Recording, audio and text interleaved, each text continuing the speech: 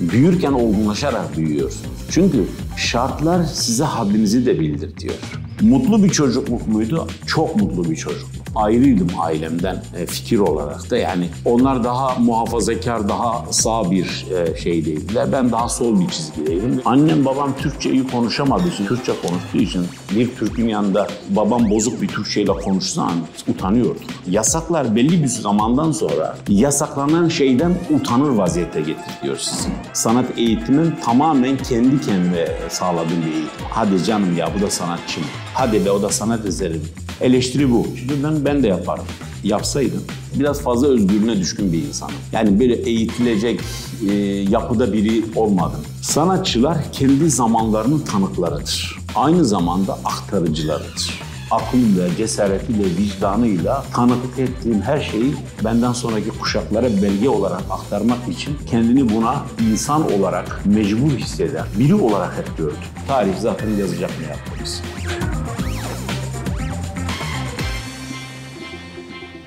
Merhabalar. Birbirini tanımadığını iddia eden tek program iki yabancıdan merhaba.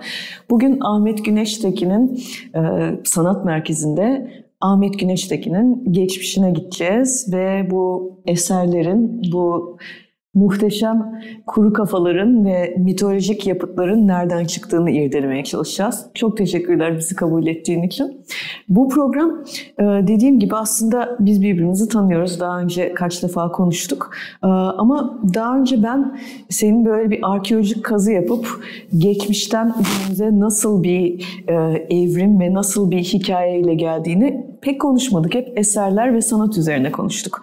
O yüzden bir Garzan'a gitmek istiyorum. Çünkü Batman'daki o çocukluğa dair e, merak ediyorum. Nasıl bir çocukluktu? Garzan'da doğduğunu yazıyor. Doğru mu? Bir de evet. post-truth çağında ne doğru ne yanlış onu da tam bilemiyorum. Öncelikle hoş geldin. Hoş bulduk. Ee, tabii benim çocukluğum e, Garzan kampında geçti. Garzan kampı e, 1950'lerden sonra kurulmuş işte petrolün ilk çıktığı e, yıllarda. E, o zaman tabii Batman yok. Ülüh diye bir köy var. Şu Ülük. anki İlüh. İlüh. İlüh. Şu anki e, Batman'ın olduğu yerde bir köy. Ee, küçük bir köy yani birkaç yüz kişinin yaşadığı bir yerleşim yeri. İşçiler herhalde değil mi? Be- Hayır o dönemde o henüz işçiler de yok. İşte 50'li yıllarda işte petrol çıktığında Raman Dağı'nda petrol çıkıyor. Petrol o dönem işte kapasitesi yani Türkiye şartlarında iyi olduğu için rafineriler kurulmaya başlanıyor. İşte yabancı şirketler, birçok şirketler orada üstler kuruyor ve merkez olarak e, petrolün çıktığı alanlara en yakın yerleşim yeri Ülü e, Batman'ın aslında kuruluş hikayesi de petrolün çıkmasıyla e, başlıyor. Orada rafineri kurulunca rafineriye Türkiye'nin farklı alanlarından uzmanlar, mühendisler, e, farklı iş grubundan insanlar, petrol aramalarında çalışacak farklı grupta insanlar işe alınıyor. Bu da Türkiye'deki aslında ilk İstanbul'dan sonraki kozmopolit bir coğrafyanın oluşmasına da e, vesile oluyor. O dönemde benim babam da Türkiye petrollerine başvuruyor ve e, işe alınıyor. Bir petrol işçisi olarak, petrol çıkaran, arama e, sahalarında çalışan bir işçi olarak işe başlıyor. Aradan zaman geçiyor. İşte 66 yılına gelindiğinde... Doğum yılına Annem e, bana hamileydi. Altıncı oğluna hamileydi. Beş abim e, doğmuştu. Kız mı bekliyorlar? E, muhtemelen çünkü benim babam çok kız severdi. Annem de babam da çok kız severdi. Benden sonra e, kız kardeşim doğdu. Son muydu Aslında a, annem 11 doğum yapmış. E, yaşayan 7 şanslı çocuktan biriydim. Sonra Garzan'a geri döneriz. Garzan hikayesi güzeldir çünkü. E, tabii Şöyle hatta geçenlerde e, bir yerde bir e, Türkiye'nin kültür politikaları üzerine bir konferans veriyordum. E, ondan sonra... E, Dinde üzerine konuştun. İşte olmayan kültür politikaları üstüne olmayan işte ol, ol, olması için de inşa etmek için de çaba sarf etmek gerekir. Biz üstümüze düşeni yapalım da bizden sonraki nesil mi devam eder? Onlar mı yaparlar bilmiyorum ama bir, bir şekilde harekete geçmek gerek. Şunu e, anlattım. İşte e, Batman'da yapmayı planladığımız bir müze vardı. Sevgili Emre Arolat projesini yapmıştı. 1700 dönüm arazi üzerinde e, art rafineri koruyorduk. Güneştekin art rafineri. aşağı yukarı 30 bin metrekare kapalı alanı olan bir sanat köyü gibi e, farklı disiplinlerde sanat etkinliklerinin yapılacağı, o 1700 dönüm arazide land artların yapılacağı, e, dünyadaki farklı sanat inisiyatiflerinin e, katılım gösterip üretim yapacağı alanlar. E, müthiş bir şeydi. Konferansta bundan e, soru sorulmuştu. Ben bunu anlatınca e, hemen e, okumuş bir zat şöyle dedi. E, niye dedi Batman? E, neden dedi İstanbul değil de e, Batman? İşte esas sorun da burada. Ha, zaten her şey burada ya. E, e, her alanda, kültürel alanda da, ekonomik alanda da e, siz bir yere her şeyi hapsederseniz e, diğer yerlerden insanlar göç eder buralara eğer. Şöyle. Ki göç senin bugün, temalarından bir tanesi. Evet. evet. İspanya'daki Bilbao örneğini anlatın. Eski bir sanayi şehri. Cemil çelik madeninin yoğun olduğu bir şehir. E, paslı bir şehir çünkü e, e, tam bir sanayi şehri. Müze olmasa zaten. Tabii. Sonra e, şehir konseyi şöyle bir karar alıyor. Yani e, bu şehri daha yaşanılır hale nasıl getirebiliriz? Şehrin sanayi bölümleri şehrin dışına çıkarılıyor. Dünyadaki önemli mimarlar davet ediliyor. İşte Santiago Calatrava'dan Frank Gehry'e kadar birçok önemli mimar davet edilip bir anda şehrin bütün kaderini değiştirecek kültür planları yapmaya başlıyorlar. İşte müzeler, köprüler, yollar, e, farklı mimari projelerle bir anda dünyanın en çok ziyaret edilen sanat şehirlerinden biri haline getiriyor. Şimdi Bilbao ile Batman arasında pek bir fark yok. Batman'da bir petrol şehri, yine bir sanayi şehri, biri de şey. Ama Batman'ın şöyle bir özelliği var. Batman'ı tercih etmemin nedeni insanlar sanıyor ki işte Ahmet Gülşen orada doğmuş. Doğ, Acaba vefa oradan dolayı. Vefa tabii ki vardır. Haktır işte. Ee, işte iki sene önce Hafıza Odası bir vefaydı Diyarbakır'da o sergiyi açmak. E, günde 17-18 bin kişi kuyruğa girip sergiye gelirken e, Kültür Bakanlığı tarafından 20 gün serginin kapanışına kala e, mekanı elimizden alıp kapattılar. Böyle de bir ödül verdiler o zaman bize mukafat olarak. İşte kültür politikaları diyoruz ya.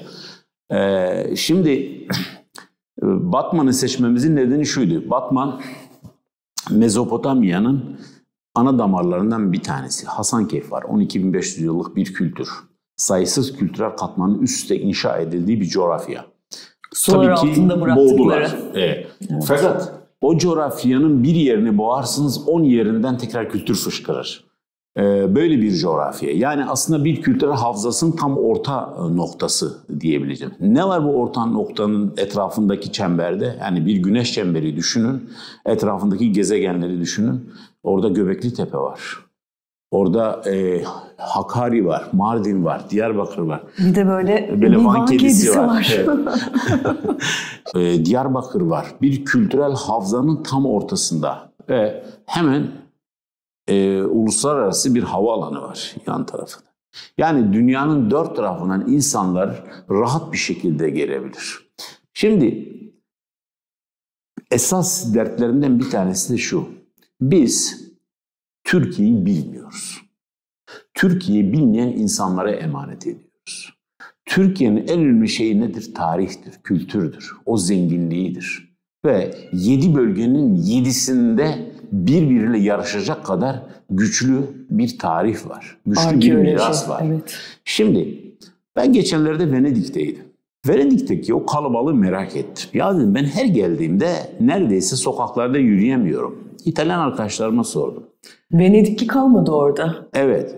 Dedim ki e, mesela bu yıl kaç turist geldi? Dedi, bu yıl 45 milyon turist geldi. Türkiye, İstemiyorlardı zaten. Türkiye'ye gelen turist sayısı tam bilmiyorum ama galiba 28 milyon civarında oldu biliyorum yani. E, yanılıyor da olabilirim. Ben de 30 Farz edelim ki Türkiye, koca Türkiye 40 milyon gez. Ya Venedik dediğin küçücük İstanbul'un bir semti kadar değil. 45 milyon insan niye o şehre gelir? Tarihe geliyorlar tabii Tarihe geliyorlar. Oradaki e, mimariye geliyorlar. Oradaki gastronomiye geliyorlar. Orada 365 gün Venedik'i satan kültürel anlayışa geliyorlar. Ne demektir satmak? Festivaller düzenliyorlar, konserler Karnavallar. düzenliyorlar, karnavallar düzenliyorlar, biyenaller düzenliyorlar. Yani 365 gününü insanlar dolu geçiriyor. Yani siz hangi tarihte Venedik'e giderseniz siz mutlaka kültürel bir aktiviteyle buluşabiliyorsunuz. Oraya gittiğinizde oteller kazanıyor, ulaşımı kazanıyor, gastronomi kazanıyor. E, konserlere gidiyorsunuz kazanıyor, müzelere gidiyorsunuz kazanıyor, galerilere gidiyorsunuz kazanıyor, hediyelik eşya alıyorsunuz. Herkes bir şekilde kazanıyor orada. Maske almıyor yok, herhalde değil mi Evet. oraya E gidip. şimdi Türkiye'ye baktığınız zaman siz hangi şehre giderseniz belki daha güçlü bir tarihle karşılaşırsınız. Ama ne, ne alırsınız? Mesela ben Diyarbakır'a bayılıyorum. Gerçekten en sevdiğim yerlerden bir Evet. tanesi. Ama Diyarbakır'a döndüğümde bir karpuz e, magneti aldım oğluma yani. Çünkü şey olarak hani bir kere Turizm ve Kültür Bakanlığı'nın birleştirilmesi bana göre hata. Kültür ya her şeyin bazıdır ve kültür politikaları senin de çok güzel söylediğin gibi her şeyin altında adalet, e, insan hakları, hümanizm bir sürü şey barındırır. Ama sen sadece para kazandıracak bir şey olarak bakarsan buna turizm önemli tabii ki ama turizmle kültür bambaşka iki dal diye düşünüyorum ben. Şimdi bir, e, birini bilmediğiniz zaman onu angarya olarak görüp bir yere bağlarsınız ve üstünüzdeki sorumluluğu kaldırırsınız. Şimdi kültürü bilmeden siz kültürü yönetemezsiniz. Turizm bu ülkenin can damarlarından biridir ve bence turizm yüzde yirmi dahi e, hak ettiği etkileşimi e, alamıyor. Türkiye 84 milyon. Sadece İstanbul. Siz tarihle çok ilgilisiniz. İstanbul dediğimiz şey nedir biliyor musunuz? Kaç Dört imparatorluğun dört imparatorluğun üst üste inşa edildiği bir şehir. Şimdi Cumhuriyeti saymayalım. Sonra Cumhuriyet geliyor. Roma, Bizans, Latin, Osmanlı. Dört kültürel katman. Bunun bir de öncesi var. İstanbul dediğiniz e, şehir... Grekler de var, Yunanlılar. Şimdi siz Bardakçı ya da İlber Ortaylı'ya sorarsanız kaç tane İstanbul ismi var? 8-10 taneden sonra dururlar muhtemelen. Bilirler de akıllarına gelmez. Çok zorlarsa 16-17 tane. İstanbul'un 48 tane ismi var. Her kültür İstanbul'a bir isim vermiş. Her kültür İstanbul'u ayrı bir şekilde bir tarih yazılımına sokmuş.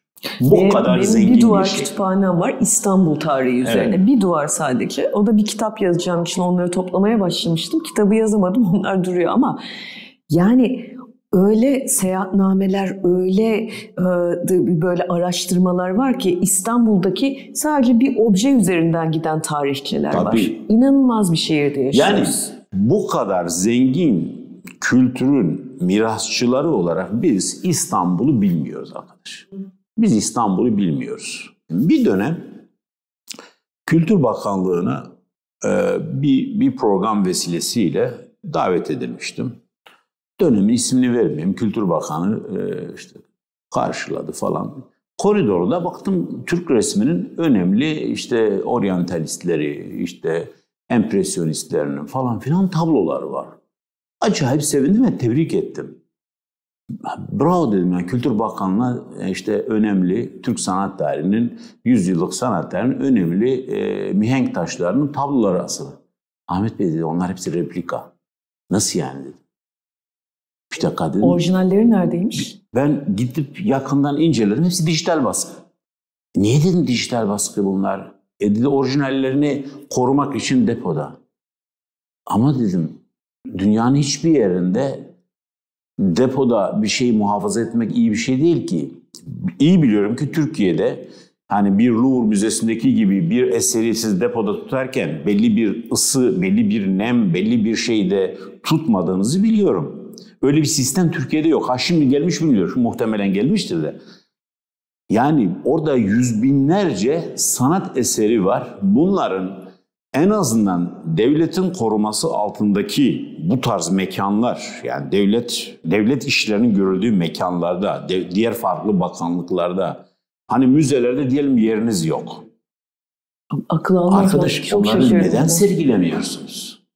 Niye açmıyorsun? Niye çürümeye terk ediyorsunuz? Burada replikasını koyacağını. Sonradan öğrendi ki ya aslında çoğunu çalmışlar. Yerine de sahtesini koymuşlar. Çıktı ya bir sürü Buna benzer şey. Şimdi Türkiye'de Türkiye'de işte hep kültür politikası diyoruz ya. Türkiye'de bugün o kadar çok depolarda sanat eserleri ve tarihi eserler var ki çürümeye terk edilmiş. Geçen Türkiye'de bu dönem paraları özellikle İstanbul'da basılmış ve dünya, şey Türkiye'nin farklı yerlerinde basılmış 8-10 bin yıllık farklı kültürlerden e, kültürlerin bastığı sikkeler. İşte değerli olan nedir? Altın olanlardır, e, gümüş olanlardır.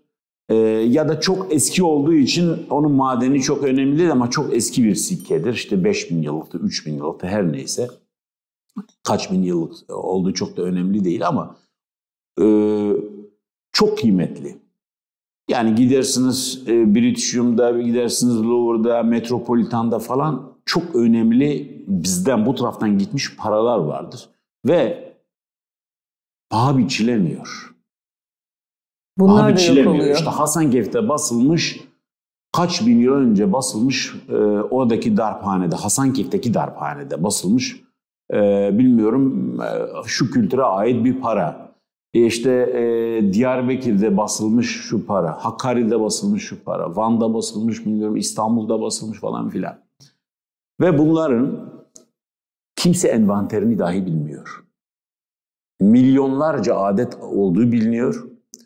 Ee, ve bugün sadece Londra'daki müzayedelerde tanesi 200-300 bin sterline alıcı bulabiliyor. Ve bunların yüz binlercesi bizim maalesef depolarımızda akıbeti de tabii belli olmamasıyla tutuluyor. Sergilenmiyor bile. Ya zaten mesela yani ben resme sıra gelinceye kadar yani siz bunu istiflemeye başlarsanız e, gidersiniz öğren yerlerinde yine depolarda çıkarılmış olan heykeller vardır, bakırlar vardır, seramikler vardır, efendime söyleyeyim gümüşler vardır, altınlar vardır ee, ve bunların hiçbiri sergilenmiyor. En azından taşınamayacak. Defalarca ben belgesel çektiğim yıllarda gittiğim, mesela çekim yaptığım yerlerde... Coşkun abiyle evet, de Coşkun abi sonrasında ben işte Güneş'in izinde yaptığımda oradaki e, yetkililere ya en azından diyelim ki işte Pamukkale'yi geziyoruz. Pamukkale Hierapolis'in olduğu işte böyle çok büyük bir alandır. Ve çevrili bir alandır. Güvenlik altına almış bir alandır. Ya depolara koyduğunuz en azından o heykelleri, lahitleri çıkarın açık havada sergileyin. Bunun hiçbir zararı yok. Hiçbir zararı yok. Kim alıp taşıyabilecek 300 kiloluk, 1 tonluk, 1,5 tonluk, 2 tonluk taşı kim yerinden oynatabilir? Eğer oradan da çalınırsa helal olsun size yani. En azından insanlar bu açık alandaki arazilerde bir yani bir danışmanla, danışmanlarla istif edin. Yani müzecilik dünyada bellidir onun bir şeyi. Yani bunu düzenleyen insanlar var, küratörlüğü düzenlemesini yapan insanlar var. E, danışmanlık Adamlar bir tane eserle şey müze yapıyorlar. Yani. Bizde fazla olduğu için, çok aşırı fazla olduğu için kıymeti bilinmiyor. O yüzden şimdi biz Kültür Turizm Bakanlığı'ndan bahsettik. İşte turizm e, bu şekilde. Yani turizme doğru dürüst bir ekip oluşturursa, doğru dürüst bir danışmanlık e, grubu oluşturursa, turizmi siz 5-10 yılda dünyanın en çok ziyaret edilen birçok destinasyonunu yaratırsınız. Kültür apayrı bir alandır. Her ne kadar turizmin içindeki e, bütün alanlar kültürün bir parçası da olsa turizmden ayırmanız gerekiyor. İkisi ayrı ayrı yönetilmesi gerekiyor. Bir politikası olması gerekiyor. İkisi bu ülkenin can damarı. En önemlisi. Şimdi Garzan'da doğuyorsun. Oradaki çocuk nasıl geçti? Yani şöyle, e, zaten kalabalık bir ailede büyüdüğünüz zaman fark edilmeniz çok zordur. E, Ama en küçük olan ara, olarak aramız, herhalde aramızda da, aramızda da çok yaş farkı yok abilerimle. Kız kardeşim e, benden e, işte 3 yaş e, küçük. Ee, benim bir büyüğüm iki yaş benden büyük. Onun bir büyüğü iki. iki hep öyle iki iki giderdiler. Ee, arada çok fazla yaş farkı yoktu. O yüzden şunu hatırlıyorum. Bir işçi maaşıyla yedi çocuğun okuduğunu hatırlıyorum. İki abim üniversitedeyken iki tanesi lisedeydi. Biri ortaokulda. Bizi, ben ve bir kardeşim e, ilkokuldaydık. Bugün imkansız. İmkansız yani. Bugün ya hırsız olacaksınız ya gaspçı olacaksınız yani ya da okumayacaksınız yani böyle bir şey imkanı var mı ya yedi çocuğu bir işçi maaşıyla okutacaksın ve e, ve mutluyduk yani e, şöyle tabii böyle bir e, böyle bir hayatın içinden geliyorsunuz. Şimdi tabii ki bugünkü nesile biraz e, şey gelebilir, tuhaf gelebilir. Daha rahat bir nesil var aslında. Hani özellikle de bizim gibi insanları izleyenler kültür ve eğitim oranı yüksek olan insanlardır. Kendileriyle kıyaslarlar. E, hayatlarıyla kıyaslarlar. Ben 56 yaşındayım. Yani sözüne ettiğim yıllar 70'li yıllar. 80'li yıllar. Hiçbiri doğmadı. Yani babaların neredeyse doğduğu yıllardan bahsediyoruz. Şimdi e, böyle bir e, yaşantının içinde fark edilmek istiyorsunuz. Ben de yeteneğim resimdi. E, Nasıl fark ettin peki? Yani boyalarla oynayarak. Yani şimdi şöyle aslında her çocuk mesela e, kendi çocukluğunu hatırlarsan okuma yazmadan önce herkes ilk yaptığı şey boyalarla oynamak. Eline geçirdiği boya kalemleriyle oynarsınız. Bir de benim ee, annem de ressamdı. Evet. Evde her zaman boyalar her vardı. İlk anılarım benim. Ben de onlarla oynardım. Şimdi o dönemlerde tabii e, çocuklar büyüdükçe tercihleri değişmeye başlıyor. O boyaların eline kalemler işte ya da başka e, ilgi alanlarına girecek e, malzemelerle oynamaya başlar. Bugün hepsinin elinde telefon var zaten evet. ya da işte iPad. Şimdi ben başlayıp hiç bırakmayanlardan olduğum için yani ben kendim hep sanatla ifade ettim bugüne kadar. Ee, işte resim yapardım, anne babama önce gösterirdim. Önce ev halkının beğenmesini isterdim. Dışarısı çok beni ilgilendirmiyordu. Zaten o zaman dış dünyayla çok fazla şeyiniz yoktu yani. Bütün hayatınız bir evin içiydi. Şimdiki gibi internet yok, televizyonlar yok bahsettiğimiz yani. Bir sosyalleşme alanı yok. Sosyalleşme alanınız nedir? Sokak. Sokak kültürü. Yani işte Batman'da... Top oynuyorsunuz evet, falan herhalde. Şimdi Batman'da şöyle bir şansım vardı. Batman kozmopolit bir yer olduğu için farklı kesimlerden insanlar yerleştiği için aynı şekilde Batman'ın çevre köylerinden, çevre ilçelerinden ve çevre illerinden de insanlar oraya yerleşmişti. E bu nedir komşularınız? Bakıyorsunuz bir Ermeni komşunuz oluyor. Bir Süryani komşunuz oluyor. Bir Karadenizli Laz bir komşunuz da oluyor. Bir bilmiyorum e, Türk komşunuz oluyor. Bir Arap komşunuz oluyor. E, bir Çerkes komşunuz oluyor. E, bir Ezidi komşunuz oluyor. Ve siz sokağınızı yürürken burnunuza annenizin mutfağın dışında kokular geliyordu.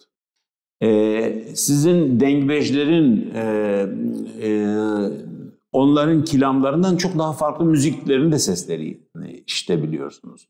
Ya da bir sokakta bir yas oluyor. O yasın şeklinin sizin ailenizin ya da kendi yakın e, çevrenizin yasından farklı. Düğünleri yine sizinkinden farklı.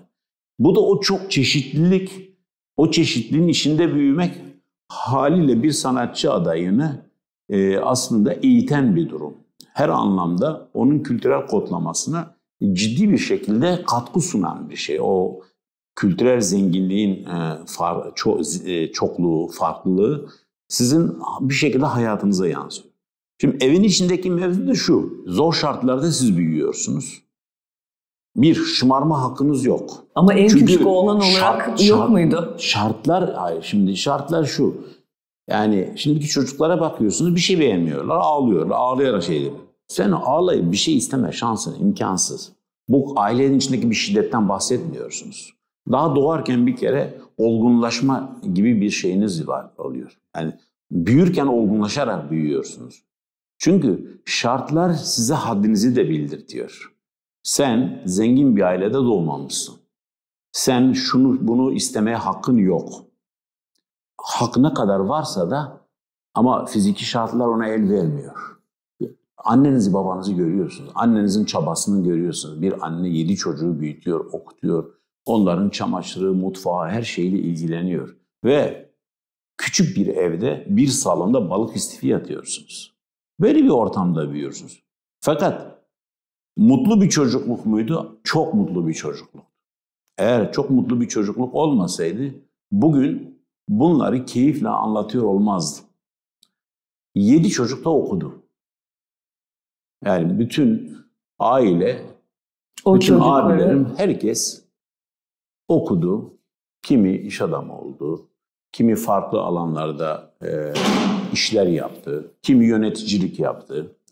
Herkes kendince bir şey oldu. ayaklarının üzerinde durdu. Ama şunu e, gördüm. Ailemde iyi insanlar yetişti. Hiçbiri için kötü bir insan yani ailem olduğu için demiyorum. Hatta o dönemde çok fazla da kötü insan yoktu. Yani bir kere kavga yoktu her şeyden önce. Kavga bizden sonra başladı. Yani 70'lerden 80'lere gelen bir dönemde bir e, bir Ayrışma. kavga, ayrışma başladı. 90'larda faili meçhuller başladı. Yani artık neredeyse birçok kesim sırf kaostan beslenir hale geldi. Ve siz bunların hepsine şahitlik ediyorsunuz. E tabii ki ileriki yıllarda bir sanatçı olarak eline güç geçtiği zaman tanıklık ettiğin dönemleri bir şekilde sanatınla buluşturuyoruz. Ki sende hatıra mesela başlığı çok önemli. Evet, Yani çünkü bellek denilen şey aslında kimliktir değil mi? tabii ki. Ama o belleği unutunca aslında sen kim olduğunu da unutursun. Kim olduğunu unutunca zaten sen sen olmaktan çıkarsın ya da yine kültüre bağlayabiliriz bunu. Evet. Hafıza dediğin şey her tarafa çekilebilir. Evet çok siyasi bir tarafa da çekilebilir ama bir taraftan üst kültürde de çok önemli bir şey. Yani mesela bu bazı benim çok sevdiğim Alman yazarlar var. Bunu böyle bir metamorfoza uğratıp böyle bir alternatif bir tarih yazıyorlar. Çok ilgimi çekiyor bu konular benim. Ve sen bunu resim yoluyla ve işte yaptığın enstalasyonlarla yapmış oluyorsun. Şimdi şöyle e, bir e, 2012'de bir video yapmıştım. İsmi Bellek. E, Bellek'in şöyle bir özelliği vardı. Türkiye'nin son 100 yılını almıştım. Bunun bir bölümü benim tanıklık ettiğim yıllar. İşte 12 Eylül darbesiyle başlıyor. 12 Eylül darbesinde e, ben 14 yaşındaydım ve Batman'da ortaokul öğrencisiydim. E, tanıklık ettiğim yani işte sabahın dördünde ya da beşinde yani sabah namazından işte ezanından önce çünkü babam ezana e, ezan okunduğunda namaza kalkardı.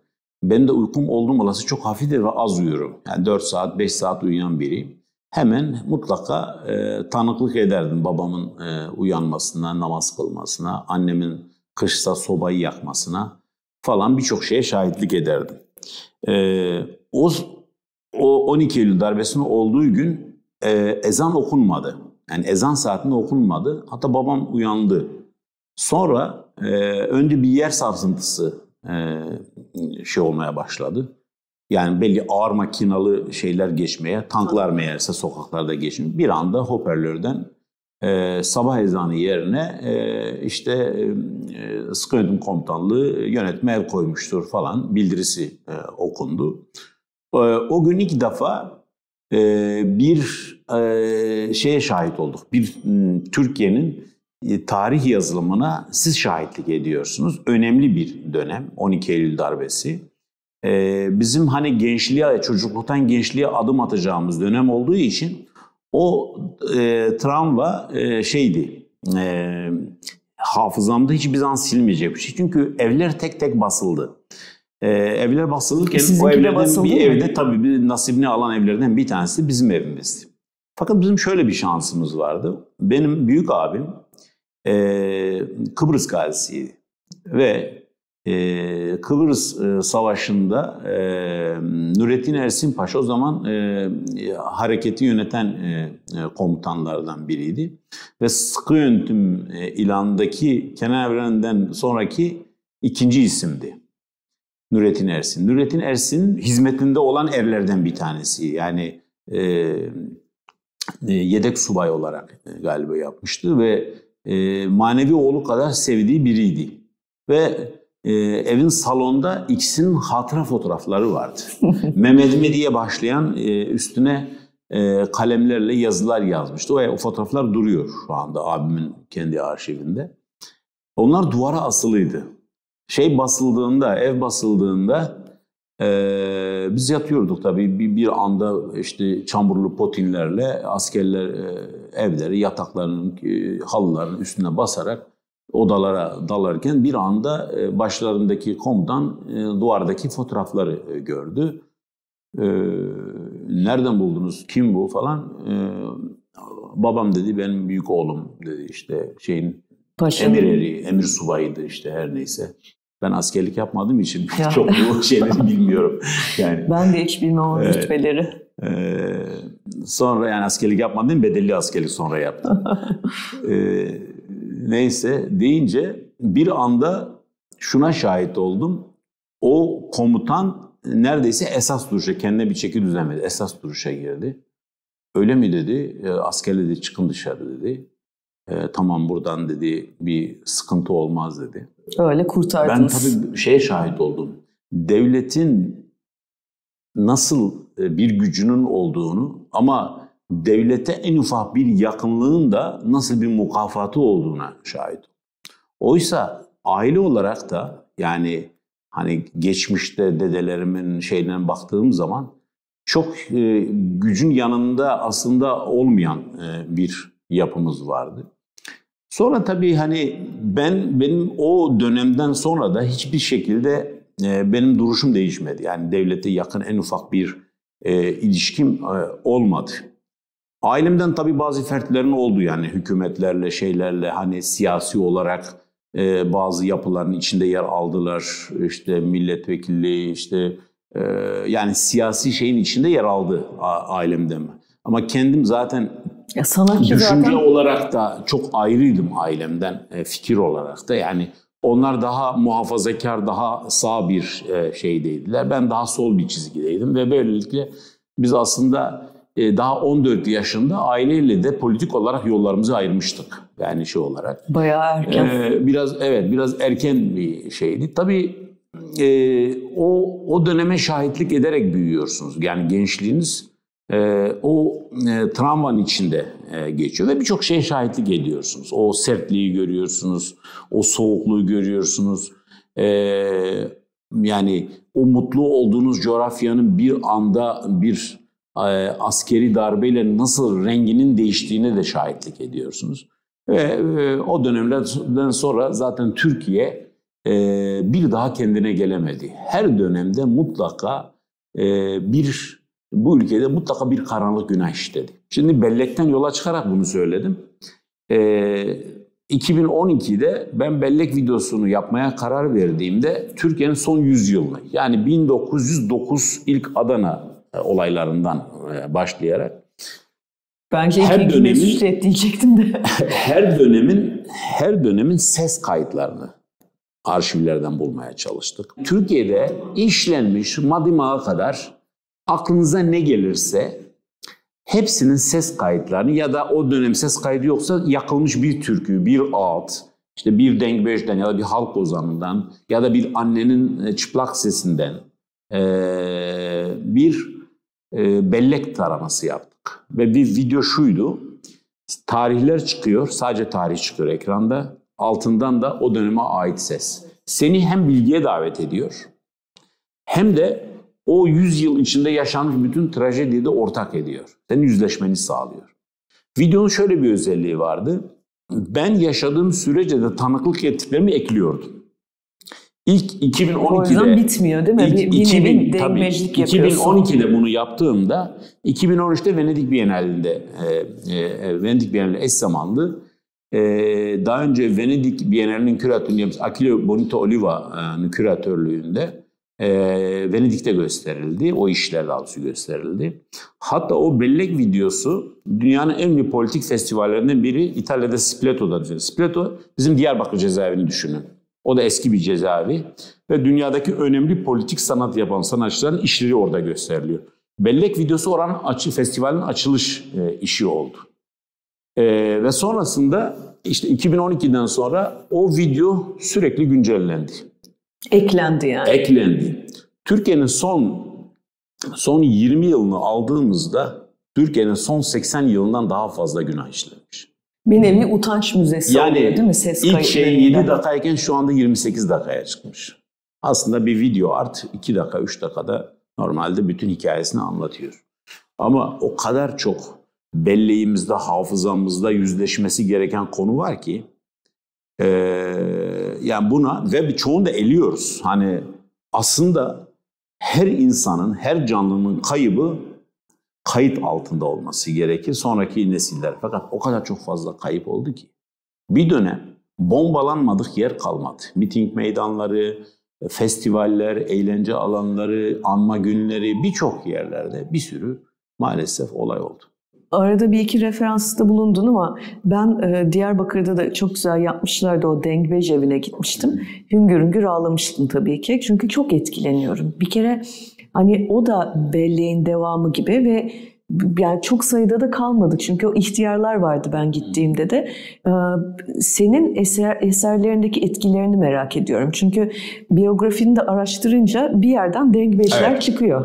Şimdi şöyle dengbeşlik kültürü tabii biz, bizim kültürümüzün e, aslında majör e, diyebileceğimiz e, kodlarından bir tanesidir dengbeşlik kültürü. Çünkü sözlü e, edebiyattır ve aslında bir tarih yazılımıdır.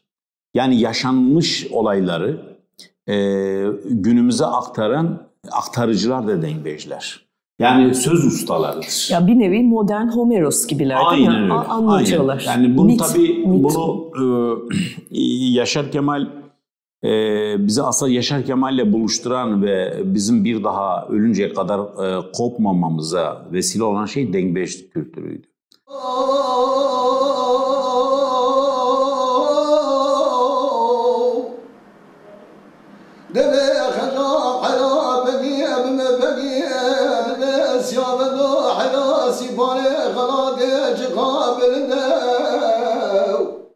işte 3 yılda ilk karşılaşmamızdan sonra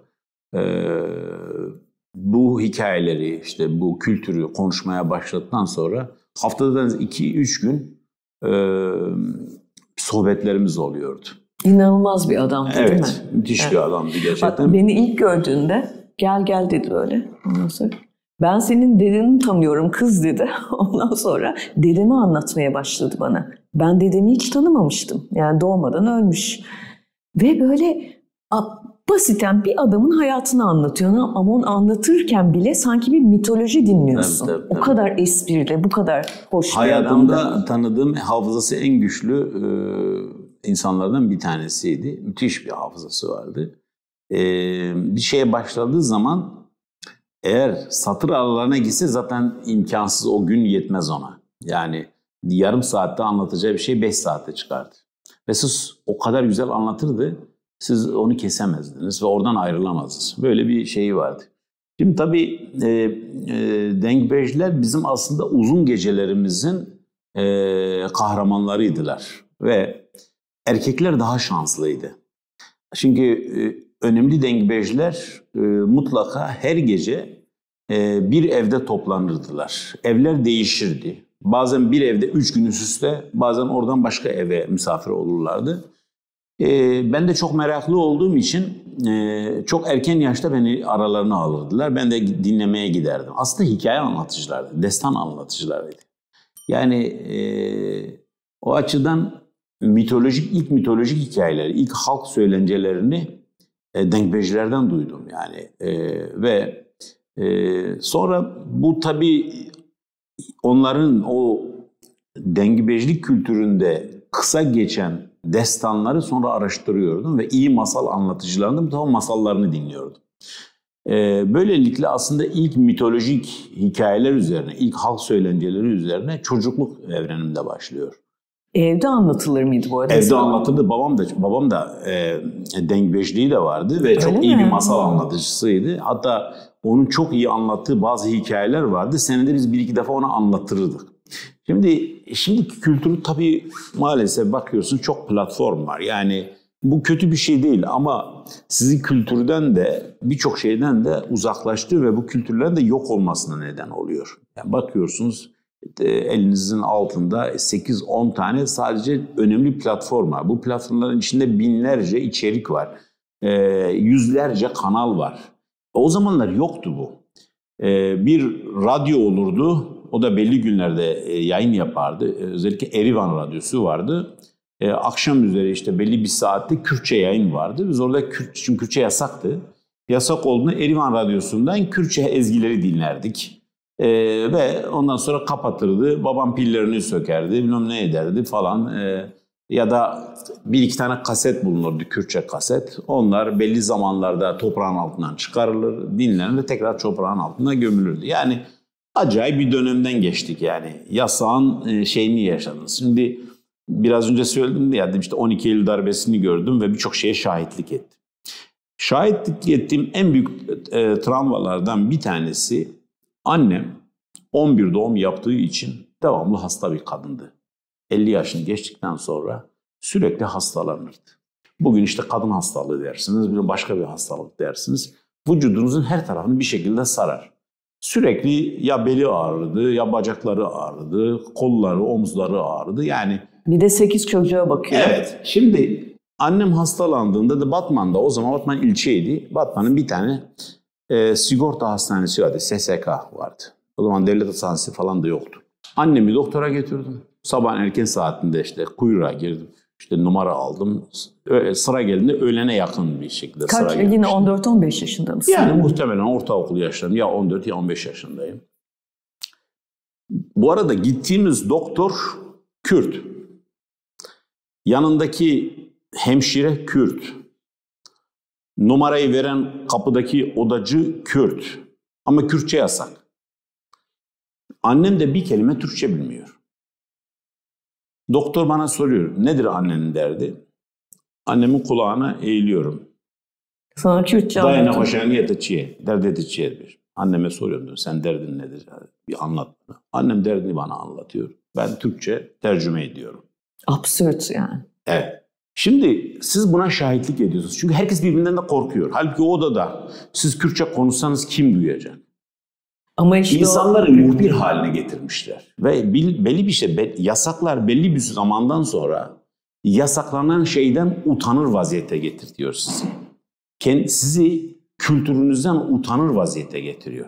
Hatta çocukluğumuza maalesef hayatım boyunca hep onun üzüntüsünü yaşıyorum.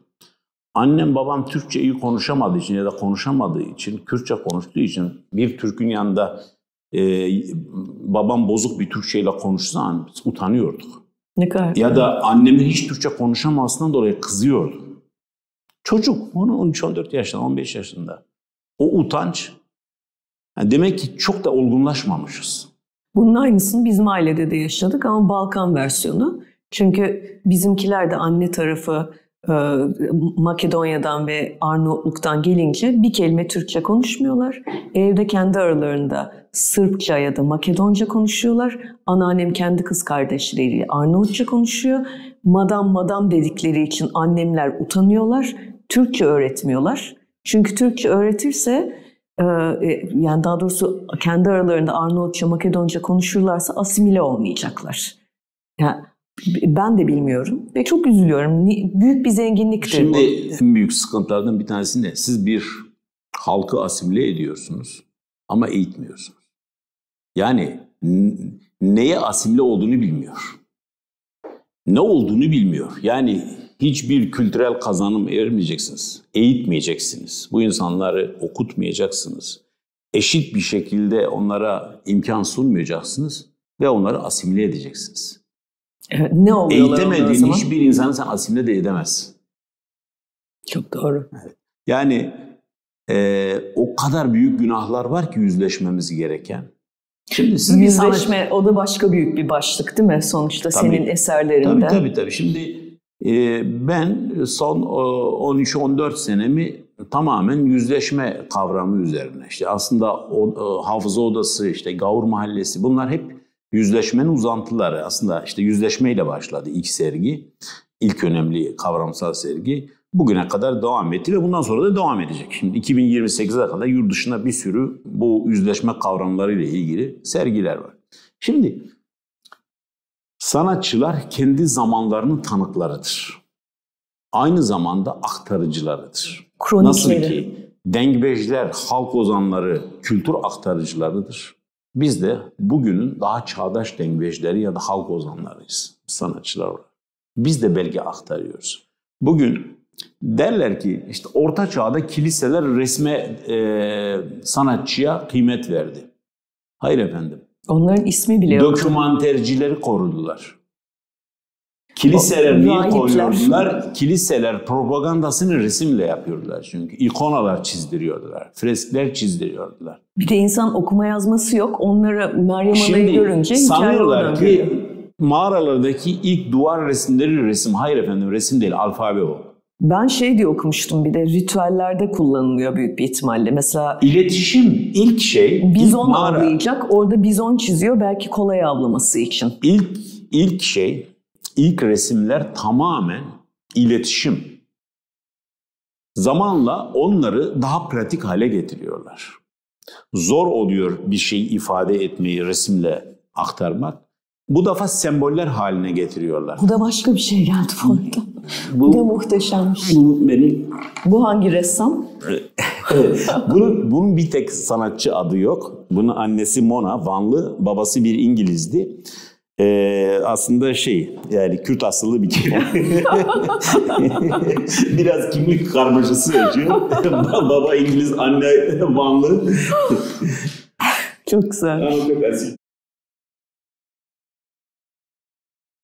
Zin şey demek değil mi? Ee, ne, ne demekti zin? Ee, Zin Memuzin'den aslında ben şey yaptım. Ee, meşhur bir. Memuzin, Memi Alan Destanı'nda geçen Memuzin hikayesi. Z- Zin ismini çok seviyordum. O yüzden adını Zin koyduk. Bir tek bunun ismi sanatçı ismi değil. Fakat tabii şeydir, e, sabahın köründe e, yanıma gelir. Ben resim yaparken izler. Usulca izler saatlerce. Hiç atölyeden ayrılmaz. Nerede olsam oraya gelir mutlaka. Yani iyi bir sanat dostudur. Ya rahmetli babam benim bir köpeğimle çok dalga geçerdi. Hadi. Bir sosis İnce mi? köpeğim vardı. 17 buçuk yıl benle yaşadı. Biraz ben şiir yazarken hep böyle beni izlerdi. Babam da derdi ki "Uf, ne şiir sever köpek bu diye. Ben böyle çünkü şiir sonuçta müzik de olduğu için yazdıktan sonra genellikle yüksek sesle okuyorum. Evet. Çünkü hani onun o akıcılığı, ritmini yakalamak için. E, köpek de alışmıştı ona tabii. İstanbul'a gelişine gelmek istiyorum ki hava, havada uçuşu. Çünkü aynı yılda İstanbul'a gelmişiz. 97 yılında. Ben yok, ben 91'de geldim. Ha 91, 97 Ee, yıl yok, yazıyor yok. ya şeyde. Ee, 97, 97'de sanata başladım. Ha, pardon. 91 ile 97 yılları arası ticaretle uğraştım bir dönem. Sanata tamamen ara verdim. Hiç sanat yapmadım. İşte ben onu merak ediyorum. Evet. Çünkü okuduğuma göre sen Mimar Sinan'a girmişsin ama ondan sonra bırakıp ticarete girmişsin. Evet. Neden? Şimdi, şimdi şöyle, e, hep akademide okuma hayalim vardı. Sonrasında yani karar verip e, e, yani e, gir, girdiğimde e, oranın bana ait olmadığını e, ve m, biraz ben oldum olası biraz fazla özgürlüğüne düşkün bir insanım. Yani böyle eğitilecek e, yapıda biri olmadım. Hep özgürce çalışmayı, ee, başlamadan, şimdi bazen tabii yanlış yazılıyor. Ee, sanki okumuşum da yarıda bırakmışım hiç başlamadan. Ve e, sonraki yıl işletme e, e, okudum. Ben işletme okudum. Yani benim sanat eğitimim tamamen kendi kendime sağladığım bir eğitim. Halen de okuyorum. Hani sanat tarihi, yani beni mesela e, en çok besleyen hani sanat tarihi okurum, felsefe okurum. Çok çok e, gezmeyi, çok araştırmayı e, seven biriyim. Hani ben daha çok aslında bilgiyi böyle insanlardan almayı seviyorum, birebir. Yani hayatıma giren e, e, dostlarımdan işte. Yani eğitim sadece bir okulda alacağınız eğitimle olmuyor. Aslında hayatın tamamı eğitim. Mesela bazen diyorum ya sanat eğitiyor beni. Mesela, Mesela bir- galerilere gidince ya da işte sergilere gidince bir şeyler topluyor musun? Yani işte böyle güncel sanat şunu yapıyor, bunu yapıyor falan. Şimdi Şunlar ben çok diye. ben çok şey yapmıyorum. Çok aşırı sanat e, galerilerini gezmiyorum.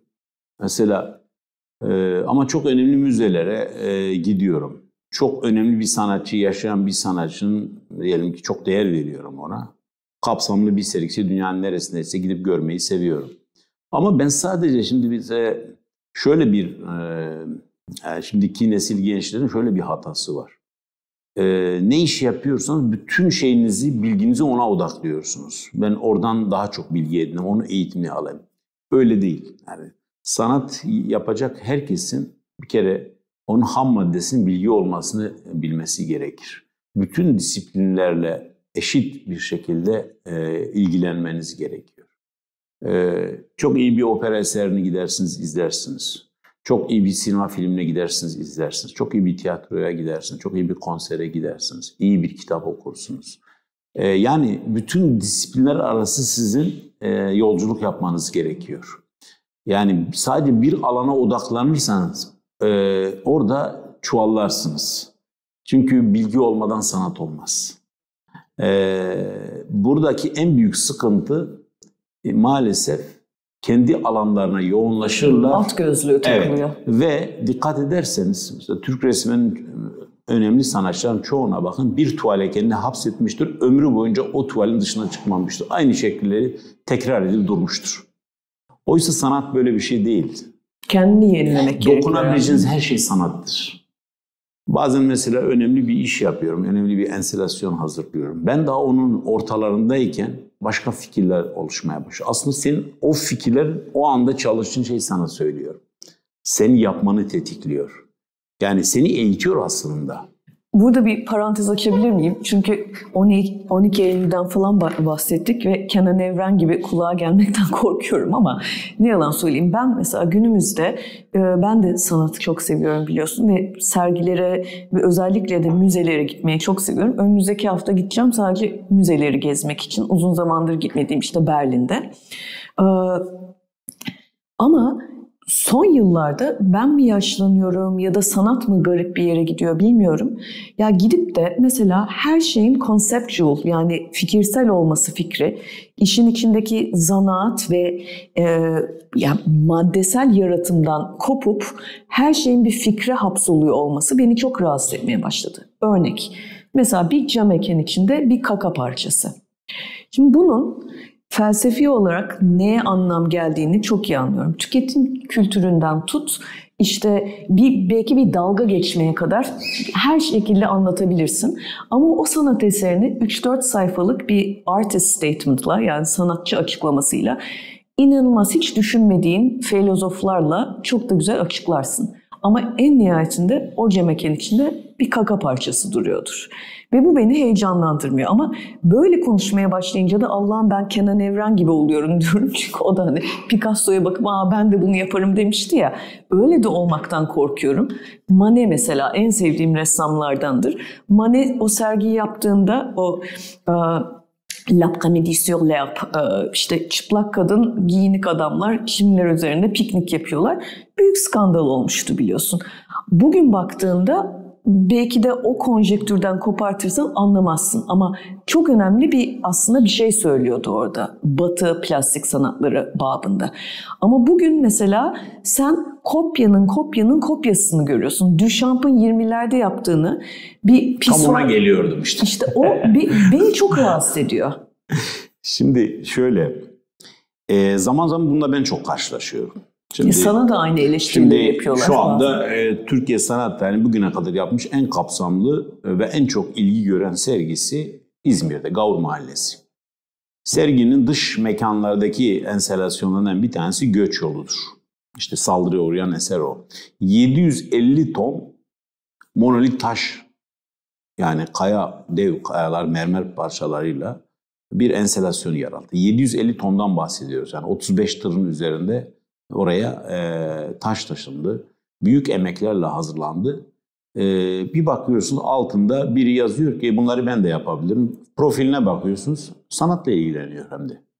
Hani Kenan Evren'i anlarsınız adam sanatla bir şey yok yani. Hobi olarak e, bir şeyler yapıyor falan filan yani. Şimdi bunu eğitimlisiyle bu kafada. Bunlarla karşılaşıyoruz. Şimdi şeye gelince tabii e, zaman zaman ben de hani rahatsız eden sanat eseri diye sunulan çok şey oluyor. Ben ama yapan kişiye bakarım. O sanatçının background'una bakarım. Mesela yakın tarihte e, Maurizio Cattelan, e, İtalyan bir sanatçı, bir muzu duvara bantladı. Ha. Ve bütün dünyada evet, büyük sansasyon yarattı. Türkiye'de de bu konuyla ilgili e, benden görüş alındı bazı haber kanalları. Onlar şunu bekliyorlar. Bu e, böyle bir sanat, sanat olmaz. Mıdır? Affedersin böyle sanatın içine diyenler oldu ya böyle bir şey bekliyordu. Hayır dedim sanat eseridir. Şaşırdılar. Niye sanat? E ben sanatçıya bakarım. Mario Cattelan oldukça önemli, yaşayan sanat önemli isimlerinden bir tanesidir. Çok farklı, çok önemli işler yapmış, çok yaratıcı bir zeka ee, ve çok da beğenirim sanatını. Ee, onun beyanı benim için esastır. O buna sanat diyorsa ben ona sanat eseri gözüyle bakarım. Ee, çünkü aynı e, performansı kendi galericisini bir yıl önce duvara bantlamıştı. Ee, yani siz onu yaparsınız, fotoğrafını çekersiniz. O e, eylem ya da o performans siz onu ölümsüzleştirirsiniz, videosunu yaparsınız ya da fotoğrafını çekersiniz. Onlar da sanat eseri olur. İmza sanatçının. Walter Benjamin'in o hani e, şey e, sanatın tekrarlanması dolayısıyla o özündeki e, neredeyse dini bir kutsallıktan uzayıp herkesin sanata ulaşabilmesinden bahseder ya. Evet. Onun şimdi gibi. şimdi tabii bu işin fikir babaları iki kişi ben hep adlandırıyorum. Marcel Duchamp, diğeri Joseph Beuys. Ee, aslında kavramsal işin babası Beuys'tur.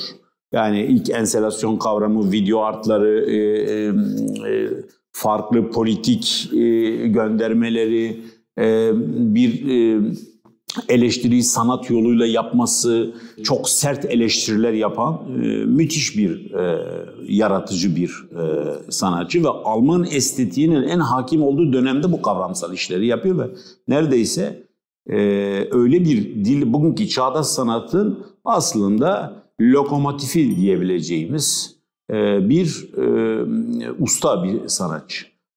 Neredeyse aynı dönem yani 20. yüzyıl sanatının e, en önemli e, sanatçılarından ve en önemli eserlerinden birini yaratan da Marcel Duchamp'dir. E, Pisuar'ı tamamen konformist sanat anlayışına karşı aslında bir tepki olarak e, onu sanat eseri olarak sürüyor. Yani Nalbur'dan bir tane pisuar alıyor. Sadece sağ tarafına mı sol tarafına bir yere siyah boyayla bir e, numara koyuyor, işaret koyuyor, al koyuyor sergiye, bir karma sergiye bunu başvuru yapıyor. Önce kabul edilmiyor, tartışılıyor. Sonra onun sayesinde aslında bir anda da tartışma kültürü başlıyor. Eleştiri kültürü başlıyor. Bu sanat başlıyor. mıdır değil Bu sanat midir? mıdır değil midir? Sayısız sayfa yazılıyor. Bilimsel olarak iki taraf da bilimsel yazıyor. Şimdi halen bugün sanat eleştirisinin ne olduğunu bilmeyen okumuş bir kesim var. Mesela bir şey ben yapıyorum, önemli bir sergi. İnsanlar yüz binler akıyor oraya. Hadi canım ya bu da sanatçı mı? Hadi be o da sanat eseri mi? Eleştiri bu. Eleştiri siz temellendirmediğiniz sürece hiçbir karşılığı olmaz. Neden sanat eseridir, neden değildir? Neden sanatçıdır, neden değildir? Siz bunu bilimsel olarak eleştirinizi ya da övgünüzü yazmadığınız sürece sanat tarihinde hiçbir karşılığı olmaz. Evet o sadece bir yemeği sevmek ya da sevmemek o gibi bir yüzeysel 20. yüzyılın neden önemli eseridir, eserlerin başında geliyor Pusuar. İşte hakkında sayısız makale yazıldığı için, tartışılmaya değer bulunduğu için. Neden tartışmak? Çünkü Düşem dönemin çok önemli bir sanatçısı çok işler yapmış. Yani bugünkü Katelan örneğini verdiğim gibi ya da Boyce örneğini verdiğim gibi. Bunlar evet, arkasında arkasında güçlü bir sanat var. şeyi var. Yani insanlar işte gidiyor Ahmet Güneş'in Gavur Mahallesi'nde e, kamyonlarca lastik ayakkabı dizilmiş. Diyor ben ben de yaparım. Yapsaydım. yani şimdi Kenan Evren'in Picasso için bunları ben de yaparım demesinin hikayesi şu aslında. Rivayete göre ne kadar doğru olduğunu bilmiyorum. Yani sanat tarihinde çok geçmiyor ama daha çok bu işin magazinsel kısmında geçiyor. Derler ki Picasso'nun bir sergisinde bir koleksiyoner bir eserini pazarlık ediyor ve alıyor. Ustad diyor bunu ne kadar zamanda yaptın diyor 10 dakikada yaptım. E diyor yani benim ben de yapardım bunu. Niye bu kadar sana para verdim? Hayır diyor sen değil diyor sen. 3 yaşındaki oğlun da yapardı bunu diyor. Ama diyor beni taklit etmiş olur Aslında sanat böyle bir şeydir. Sanat iyi fikirdir. Sanat yaratıcılıktır. Şimdi şöyle düşünün. Bugün sadece kendi ülkemizde kaç bin tane sanat adayı öğrenci yetişiyor. Okullardan mezun oluyor. Farklı alanlar. Bunların arasında kaç tane sanatçı çıkıyor peki? Bir, bir kere bunların hepsi yetenekli. Yetenekli olmazsa sanat okuyamaz. Resim bölümünde yetenek sınavına girer, okur. Mez eğer yeteneksizse mezun olamaz. Hmm. Mezun oluyorsa, diplomasını alıyorsa yeteneğiyle almıştır. Yani belli Tiyatro bölümünden, işte konservatuvardan, işte farklı e, diğer disiplinlerden, işte resim, heykel, seramik her neyse, e, geleneksel sanat her neyse belli bir yeteneğe sahip insanlar girebiliyor ve oradan mezun olabiliyor. Bu onların hiçbirini sanatçı yapmaz. Orada aldığı eğitimin dışına çıkan, farklı bir şey söyleyen, yeni bir şey yaratan, bizi heyecanlandıran. O e, sanatçı olur. O sanatçı olur.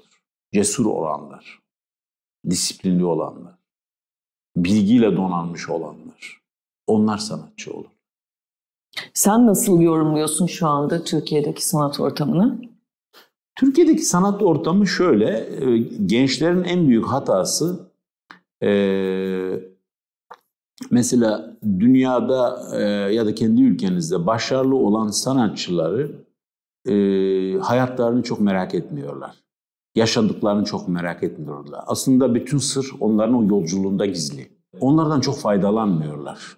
Aksine başarısız olmuş hocalarının e, onları düşman ilan etmesine katkıda bulunuyorlar. Çünkü bizim Türkiye'de en büyük problem kıskançlık üzerine yani, kurulu. Koltuğa oturuyor, o koltuğu evet. kaybetmek tabii, tabii, için tabii. arkasından gelenleri bu, de... Bu sadece sanatta değil, hemen hemen evet. her alanda e, bir yere geliyorsunuz ve ya başarısızlığınızı bahane arıyorsunuz, başarılı olan insana arkasından şey yapıyorsunuz. Bu şunun sayesinde, şunların, şu lobilerin, bilmem neylerin sayesinde e, aslında kendi başarısızlığına kılıf arıyor. Eskiden şunu derdiler mesela işte niye uluslararası Türk sanatçılar çıkmıyor? Dediler işte Müslüman şey Hristiyan lobileri var, Yahudi lobileri var. İşte aralarına almazlar. Hiç öyle değil. Dünya sanat tarihine bakın Rus ressamlar da var. Ee, Çinli ressamlar da var, Hintli ressamlar da var, İranlı ressamlar da var. Bayağı ciddi bir şekilde dünya sanat tarihinde majör bir kulvarda e, yer edinmiş. Bugün hele 21. yüzyıla baktığında dünyanın yaşayan en ünlü sanatçılarına bakın. Her biri farklı bir ülkeden. Evet avantaj belki de Rönesans görmüş ülkelerin daha çünkü bir kültürden geliyorlar. Avrupalılar belki daha şeyler. Amerikalılar. E şimdi Amerika'ya bakıyorsun yeni bir dünya. Yani 1960'larda Kennedy döneminde bir vergi sistemiyle Amerikan sanatı destekleniyor. İşte 5 yıl, 5 yıl diyor e, Amerikan sanatçılarına destek verenlerin destek miktarı kadar vergisinden muaf tutuluyor. İşte o KDV oranları, vergi oranları düşürülüyor. Bir anda Amerikan sanatını patlatıyorlar.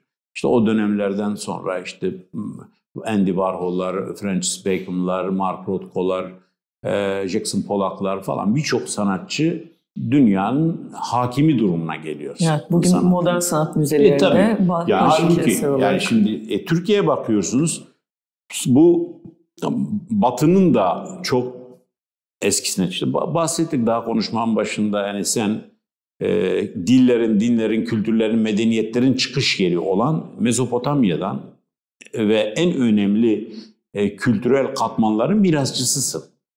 Hani 12.500 yılı boş ver. İstanbul 4000 4000 e, yıllık bir imparatorluk dönemleri var. E, buna baktığınız zaman eğer Avrupa'nın bugün bir başkenti olsaydı, gerçekten bir başkenti hakkıyla olsaydı İstanbul olur.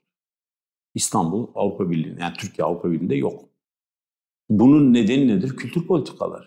Bu ülke kadar sahipsiz ve yalnız bir ülke yok ve dimdikte ayakta duruyor. Bakıyorsunuz her dönem diyor ki benim sayemde duruyor. Senin sayende değil, sen yıkamıyorsun o yüzden duruyor ayakta.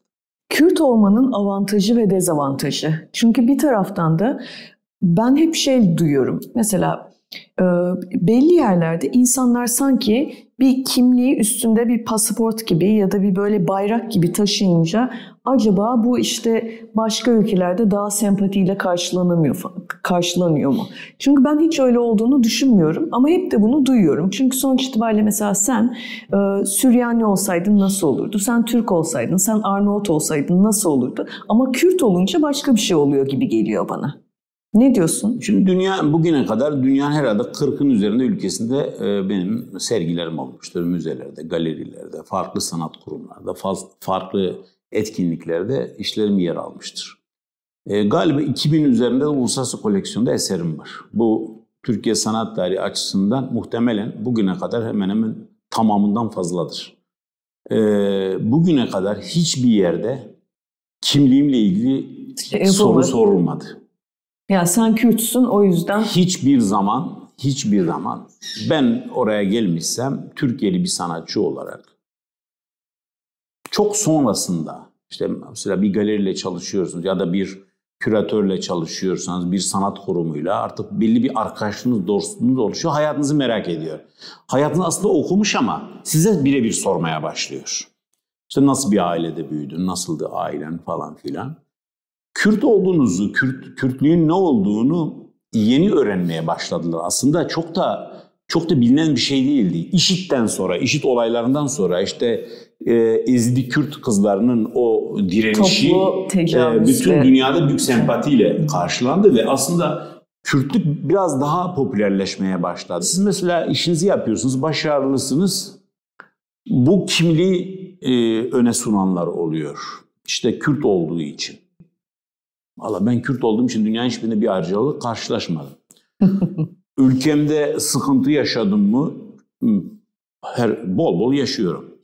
Bunu Türklerden mi yaşıyorsunuz? Hayır, Türklerden ben yaşadığımı sanmıyorum. Çünkü eğer İzmir sergisine hafta sonları 18-20 bin kişi gidiyorsa e, valla demek ki Türkler gidiyor. Yani e, kimse benim kimliğimden dolayı oraya gitmiyor. Oraya sanat için gidiyorlar. Aa bu adam bir de Kürtmüş diyenler muhtemelen oluyordur. İşte Diyarbakır'da sergi açtım. Orada sanat eserlerime eleştiriler oldu, saldırılar oldu. İşte bir e, yukarıdaki surun üstündeki bir enselasyonun parçaları gençler aşağı attılar. E kimdi eylemi yapanlar? Kürt çocuklarıydı. Sanat eserlerine saldırı yapanlar kimdi? Kürt çocuklarıydı. Demek ki bir ayrıcalığım kendi coğrafyamda da yok. Ee, gayet de ben olgun karşıladım. Yani çocuklar e, hani belki mahalle baskısına e, boyun eğdiler. Fevri hareket ettiler. Keşke e, bunu yapmadan önce benimle oturup konuşsaydılar. E, ve bir hafta sonra da hemen gittim Diyarbakır'a e, basın açıklaması ve halk buluşması. Her hafta sonra bunu gelenek haline getirdim. E, hatta eleştirmeye gelip benimle tartışmaya girenler olup ikna olup fotoğraf çekip gidiyordu çocuklar. Yani bizde biraz şey kültürü yok, tartışma kültürü yok. İnsanlara karşı hep ön yargılıyız. İnsanların, yani beni hiçbir insanın dini ilgilendirmiyor. Dili ilgilendirmiyor. Hiç umurumda değil. Bana diyorlar ki ya e, Kürt olmaktan gurur duyuyor musun? Ya da Türk olmaktan, insan olmaktan gurur duyarım tabii ama diğer kısmı benim realitem. Ben Kürtsem Kürdüm. Ben bunu saklamadım ki. Şimdi senin bu sohbetin başlamadan bazı insanların diyor işte sonradan öğrendik mi Kürtmüşler, saklamışlar yıllarca. E, bana mesela soruyorlar, işte niye sen aksanlı konuşuyorsun? Kürtlüğümü saklamamak için diyorum. Olsa aldığım eğitim, içinde yetiştiğim hayat istersem gayet e, aksansız bir şekilde Türkçe konuşabilirim. Yani okul yıllarında da en iyi dersim edebiyattı. Ben sosyal medya paylaşımlarına baksınlar bir tane e, siz e, ünlem hatası bulamazsınız. Gayet de kalemde iyidir. ayırıyorsun yani. Fena değil mi? yani önemli olan o değil. Ben çok da bunu umursamıyorum. Sadece kim, kimliğim benim realitemdir. Bir lütuf da değil. Kimse için bir lütuf değil.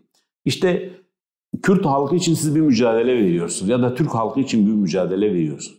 Ben hiçbir mücadeleyi toplum için vermiyorum. Kendimi vicdanımla mecbur hissettiğim için veriyorum.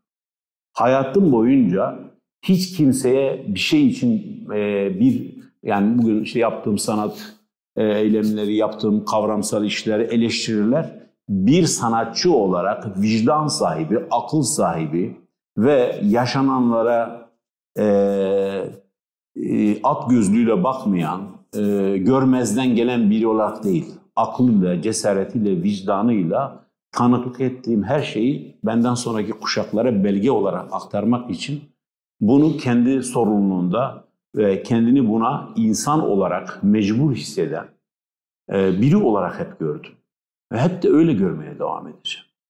O yüzden yarın bir tarih yazılımı olduğunda benimle ilgili hiç kimsenin bu adam tanıklık ettiği dönemdeki duruşu neydi? Nasıl bir e, profilciydi? Konformist bir hayata mı yöneldi? Sadece Kafasını suya sabuna dokunmadan mı yaşadı? Yoksa kendi konforunu bozarak bir şeyler mi inşa etmeye çalıştı? Bununla ilgili hiçbir sorun bana sorulmaması. Tarih zaten yazacak ne yaptığımız. Eserler konuşacak. Aynen. Taş konuşur diye bir Latince deyim var ya. Taşlar tabii ki. Çok kısa kısa iki tane şey soracağım. Ben şeyi merak ediyorum. Mesela çok e, yurt dışında sergilerin oluyor, geziyorsun, gezmeyi de seven bir insansın. Diyelim bir ex bir şehre gittin. E, ne yaparsın? Kafede oturursun, oradan çıkarsın, galeriye gidersin, yemek yersin. Yani bana bir ideal bir Önceden tatilini bir hatırla. araştırırım. Önceden gideceğim yeri önce bir araştırırım. Ee, orada bir opera binası var mı? Ben çok acayip düşkünüm ona. Ee, mesela e, şimdi La Scala'nın e, iki tane e, önemli e, konserinin şimdiden e, biletlerini almışım. E, bir tanesi Romeo Juliet, bir tanesi La Figaro. Ee, e, yani ya da Venedik'te işte ya da e, işte Amerika'ya gidiyorum e, Met Opera'da. Ee, ya da Viyana'daki herhangi bir Viyana Filarmoni'de olacak bir konseri.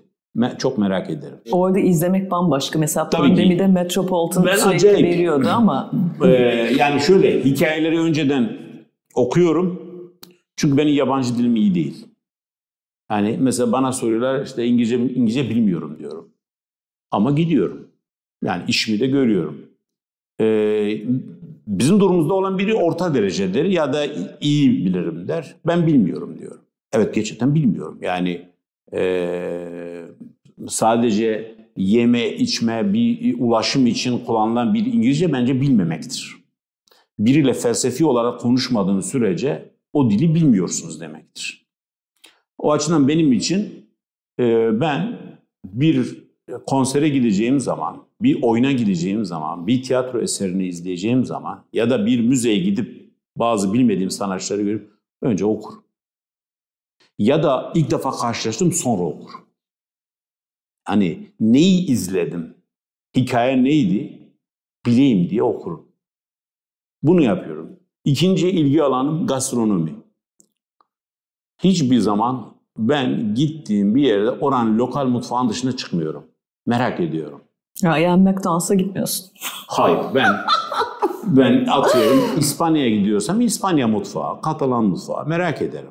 Ama Uzak artık doğuya mesela gidiyorsan Berlin'de uzak- dönerciler dolu ya. Yiyemiyorum. Yani e, orada e, bilmiyorum işte Alman mutfağı çok zengin değil. Kimine göre sosis, zengindir. mosis. Ama hani giderim iyi bir sosis yerim. Yani iyi bir e, ne bileyim Schnitzel e, falan. Viyana'da daha iyidir de ama Almanya'da yersiniz yani. Çok, Bu kadar zaten, Çok? Alman Bira. şey derim ama Alman, Almanların birasını da çok sevmem ama Almanların beyaz şaraplarını çok severim. Riesling. Bence en iyi beyaz şarap coğrafyası o nehir hattından İsviçre'ye kadar olan e, nehir hattındaki bağlarda yetişen üzümler mü- müthiştir yani. Ne bileyim İsviçre'ye gidersiniz yine oranın ben e, lokal mutfağını merak ederim. E, yani dünyanın neresinde olursa olsun e, kültürel anlamda hani şimdi şöyle tarihi yerlerde kimine işte bir yerdeki bir şato çok ilginç gelebilir. Daha iyisini görmüşsem ben daha kötüsüne gitmiyorum. Zaman kaybı olarak düşünüyorum. Oradaki diyor zamanımı daha iyi şekilde değerlendireyim. Gezeyim, sokakları. Ee, orada o sokak dilini, eski sokaklarını gezmeyi seviyorum şehirlerin. Eski işte orada binlerce yıldır insanlar oraya ayak bastığı sokakları seviyorum. Halen o taşların durduğu, duvarların yıkılmadığı sokakları çok mesela seviyorum. Ee, çünkü E, şeyin çok güzel bir sözü var bizim e, e Şehmuz Diken'in e, sırrını taşlara fısıldayan şehirler Diyarbakır için. Çok severim Şehmuz ee, abiyi de. Şimdi bazı yerlerde gerçekten o kadar o taşlar tanıklık etmiştir ki oradaki savaşlara, aşklara, yaşanmış birçok şeye ve kulağınızı dayarsanız duyuyorsunuz. Yani biraz bir şehri gezdiğimde e, hani şeye ayrı bakarım. Yani coğrafik olarak güzelliğine ayrı bakarım. iklim olarak ayrı bakarım. Gastronomik ayrı bakarım. Oradaki kültürel katmanların renkliliğine ayrı bakarım. Hepsini ben ayrı değerlendiririm ve hepsine ayrı zevk alırım. Doğa peki? Mesela bazı insanlar artık böyle şehirden sıkılmış diyor ki ben balina görmek istiyorum ya da işte buzullara gidip orada böyle bir sonsuzluk vesaire öyle bir his. Ee, çok sevdiğim şey vardır. Ee, e, Friedrich ressam. Onun böyle süblim yani böyle bir hani sanki ulu bir his verir bir dağın tepesine çıkmak falan. Onlar seni besliyor? Yani şöyle e, dediğim gibi her coğrafyanın farklı bir e, zenginliği ve güzelliği vardır. İşte İsviçre'ye gidersiniz daha farklı şeyler. Norveç tarafına gidersiniz e, bu söylediklerinizin pek çoğunu yaşarsınız. Kutuplara gidersiniz daha farklı şeyler görürsünüz. Her yerin kendine göre ayrı bir güzelliği var. Ayrı bir sizde yarattığı bir etki var. İşte bazı insanlar var sıcak yerleri sever. Sıcak yerin dışına çıkmıyor. Mesela bende şey yok. Yani bir anda e, bir çöl sıcağı olan bir coğrafyaya da giderim. Oradan da yine beslenirim. Aynı şekilde eksi bilmem 30 derece olan Sibirya'ya da giderim. Orada da ayrı bir şey hissederim, ayrı bir şey duyarım. Bende o şey ayrım yok. Hani şey ayrımı gibi, yani renk ayrımı gibi bir şey olur. Benim eğer e, yaptığım sanatın kartelasında bütün renkler yer alıyorsa ben ayırt etmemişsem kültürleri de ayırt etmiyorum. Çünkü hepsi bana ayrı ayrı keyif veriyor. Yani işte bir notayı atın bakalım e, yedi anahtardan altısı kaldığında başınıza ne iş açarsınız? Bitiremezsiniz yapacağınız işi. E, ya da alfabeden iki üç tane harfi siz yok sayın, zayıf bir alfabe olursunuz. İşte Türkçe'de olduğu gibi birkaç harfi atıyorsunuz, kibirli bir alfabe yaratıyorsunuz. Ve bu defa küçücük bir sözlüğe kalıyorsunuz ve edebiyat dili olmaktan kopuyor. İşte sizin gibi edebiyatla ilgili olan insanlar kendi cümlelerini yaratıyor. İşte Yaşar Kemal'e baktığında 6 bin kelimelik bir sözlük yaratıyor. E, böylelikle edebiyatta senin kibirden görmediğin birçok başka kültüre ait e, kelimeyi de bir şekilde kendi edebiyatına yediriyor ve zengin bir edebiyat dili yaratıyor.